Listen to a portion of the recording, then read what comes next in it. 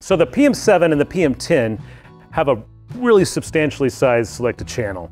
Uh, by adding the third screen to the surface on the PM5, the selected channel is much smaller. And one of the things you lose in that is there's only one gain knob on uh, the 5 and the 3's selected right. channel. And how, how do you use, I mean, so you've got analog gain, you've got digital gain. How do you have one control for both of those functions?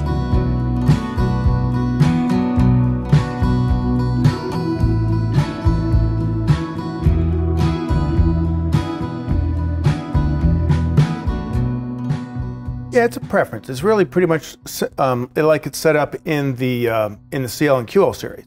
So as a preference, um, you have the option here. You could make it an analog, choose to have it an analog gain, which is the default. Um, the you could say, hey, I just want it to be digital gain, and there's reasons when you'd want to do that, or you can let it auto detect. So if you let it auto detect, if it sees a AES or a Dante MADI input, that kind of thing, it will jump over uh, to, on that channel when you select that channel, and that'll become your digital gain control because there is no head amp in that case, right? Otherwise, it'll be analog. So if, let's say we're doing a front of house and monitors, it might be really good for me to not have the analog gain on my surface as a default. Maybe it's better if, you know, because you're going to control the head amps in this case. Maybe at my end, we set it to digital. So and then now, you won't have any control. That's right. I'd have to dig to do it. I can get there if I need to. If you step away and I need to take control, I can. Um, but because it's not a leader follower type of a situation, right? Everybody, we both would have control. But in anyway, this case, if if it's just on one man operation, or I should say one console on the network, auto analog gain or digital gain selection, I think works really well because then your knob will be what it needs to be for that particular channel. Another good thing to know is in preferences on that third tab there, um, screen options for gain shown in overview screen. The default is analog gain, but when something has a port default, I call it defaulty. In this case, I think this is a better option because when you're looking at that 12 channel overview, do you want to what if you did have a, a, Dante signal coming in here, an AES signal? If it's on analog gain, then it would that whole head amp would disappear.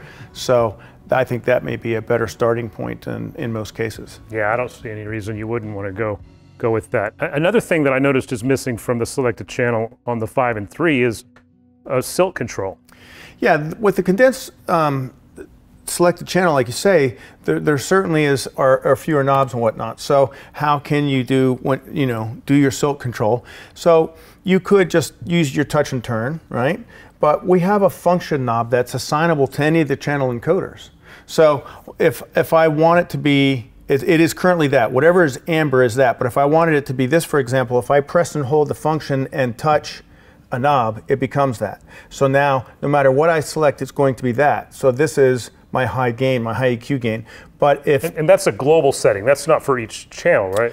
It is for any selected channel, so in a so sense, it's global. Yeah, yeah, right. So, but if I want to go back and I was like, hey, I know I'm going to have a bunch of of uh, front end I want to work on with that silk. Now I can select whatever channel I select and it's going to be, I have the dedicated knob there, yeah. That's great. Yep.